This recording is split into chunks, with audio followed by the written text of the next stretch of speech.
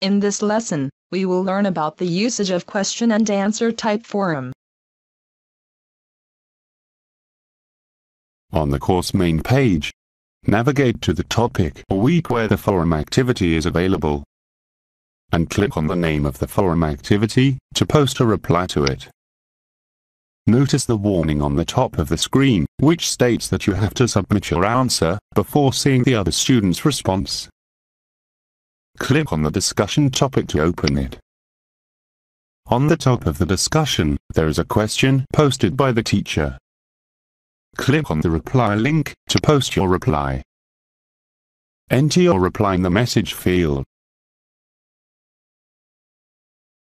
You can also attach the supporting images or files in the attachment area.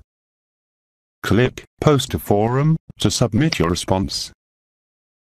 Now, you can see the posts submitted by the other students.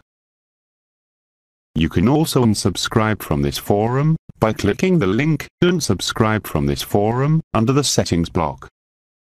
You can remove track of the unread posts in this forum by clicking the link Don't track unread posts. Here, you can see all the forums in which you are subscribed, including their status. Thank you for watching.